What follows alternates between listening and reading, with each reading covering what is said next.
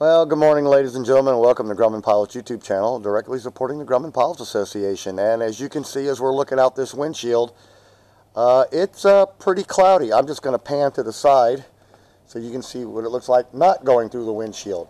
So if your windshield looks like this, you might want to consider a new one, especially if you have to fly into the sun.